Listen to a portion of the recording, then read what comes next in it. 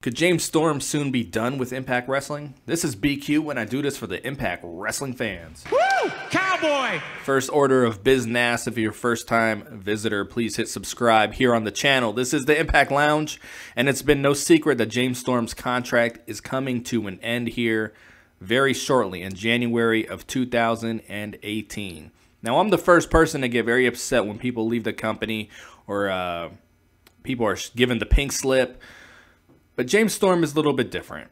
And James Storm is definitely in my top two or three favorites in Impact Wrestling. But the guy has done everything he could possibly do, except get that, you know, real strong, memorable world title run. But I don't think that's in the cards with this current management as much as we would love to see it happen. Now, when it comes to James Storm and his contract, it's been rumored. Now, this is this is all rumored that he was on a salary contract for, I believe, a quarter million a year. Something that Dixie Carter hooked up. I am not under the impression that Anthem is interested in those kind of contracts right now. I think right now the per date deals and everything that they're doing and uh, paying them well for those dates, but only paying them if they wrestle. I think that really works well with the company. I think that's what they want to do going forward, and I think that's going to cause some problems with you know EC EC3's negotiation. Excuse me, EC3's negotiations when the time comes for that. But it's not about EC3. We're talking about James Storm, and if you listen to any recent interviews with James Storm, he used to always really dismiss the whole NXT thing. And now it's almost like, oh, you know, if the opportunity comes again, you know, I'll see what happens. Um, you know, at the time that he had he had jumped over there, he you know his wife wanted to have a kid. The Impact Wrestling schedule was easier, and face it, it's he's two years older, but he's in much better shape and much better condition that he was at the time. So I think there still is interest with him over there. And to be totally honest, I, I think he will go over there. I think he should go over there.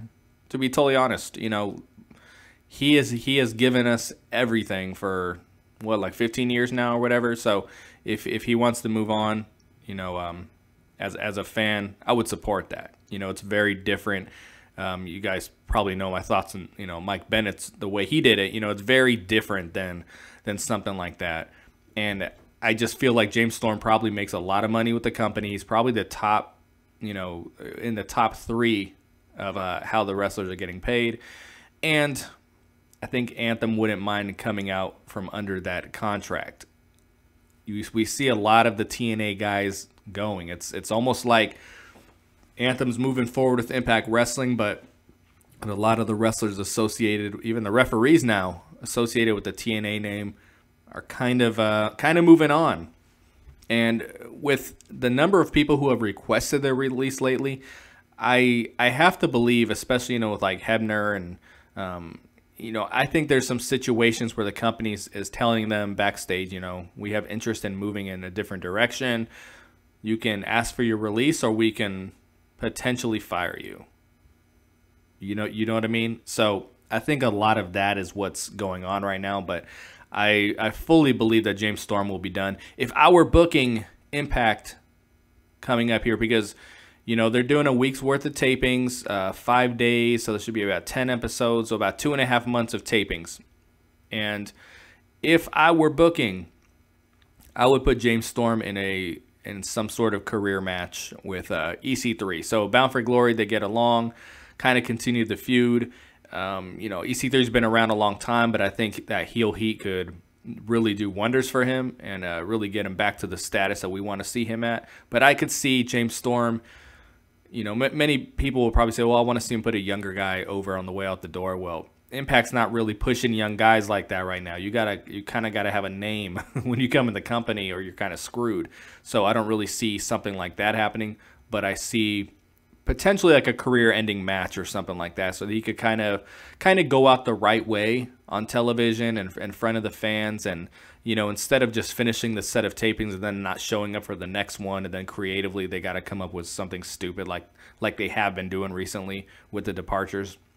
But I, am just I'm got I'm letting you people know I would I would really prepare for James Storm being done with the company next year in uh, in January. I think this is going to be his last bound for glory. Wish he would have got that title run. I wish the main event would have been Eli Drake and James Storm. Even if Eli Drake went over, I really think that would have just been a much bigger main event that people would have been invested into. So let me know your um, your thoughts in the comments about James Storm, and um, if you just really want to see him come back. I mean, he, he's one of the oldest guys in the company. I don't think there's a spot for him going forward. That is a, a plain and simple what it's going to come down to. So let me know what you guys think in the comments. Please hit subscribe. Bound for Glory is this weekend. Can't wait for it. Talk to you soon. Peace.